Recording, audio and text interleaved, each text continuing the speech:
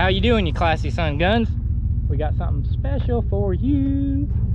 It is something we were talking about and discussing, seeing what everybody want to see.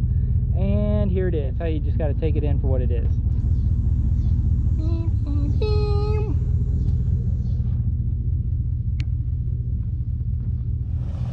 Well, there we go. We got ourselves another G3, boys.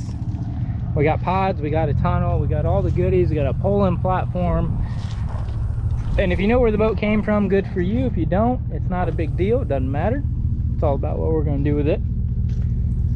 But we're thinking about either cutting her right down the center, splitting her in half, and adding about a foot or two. Thinking about eight or nine foot at bottom width would be awesome. If we don't do that, we're gonna keep the boat the way it is, rip it out, gut it, really clean it up, weld everything up the way it needs to be, and uh, repaint it and make it a solid unit. Maybe put a tiller jet drive on it. Not too sure. Console's in here loose, that's not a big deal. Um, let me know what you guys want to see though. This is this is the project we're gonna be working on. So we went with aluminum boat, everybody wanted to see it. That's what we're doing. It's got a tunnel haul, so we can go multiple options with it with a prop or a jet drive. And uh, see what we can get. Same thing, it's a G3. I think this is a 2005, somewhere around there. I have to ask and find out.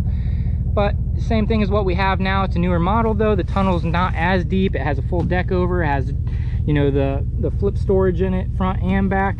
A little bit bigger walk rails for the gunnel side. So we're gonna see what we can do but we're gonna paint her up make her nice and uh, either split her and widen her or we're just gonna keep her the way it is and dress it up maybe cut the sides down make a full deck over um, give me inputs let's see what you guys want to see but this is it guys this is the project and we are gonna make it happen.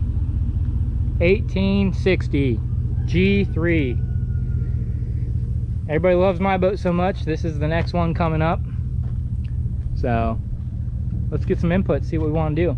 I'd love to cut this thing down, take it down to about half of what that is right there, flush, make a full deck over, kind of lighten it up a little bit, brace the bottom, maybe even do the smooth bottom on it instead of having the rib design like we got here. so let me know what you guys want to see. That's the new one.